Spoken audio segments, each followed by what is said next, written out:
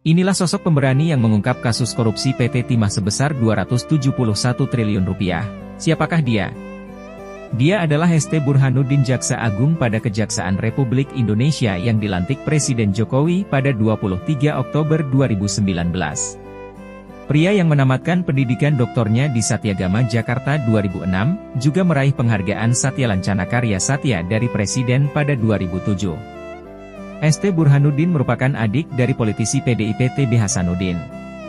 Keberanian Jaksa Agung ST Burhanuddin membongkar kasus korupsi yang mencapai 271 triliun dengan menetapkan 16 tersangka. Di antara 16 tersangka tersebut terdapat suami Sandra Dewi yaitu Harvey Mois yang kini telah ditahan di rutan Kejaksaan Agung.